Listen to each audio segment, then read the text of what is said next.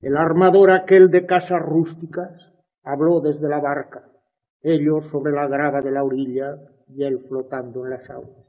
Y la brisa del lago recogía de su boca parábolas, ojos que ven, oídos que oyen, gozan de bienaventurados.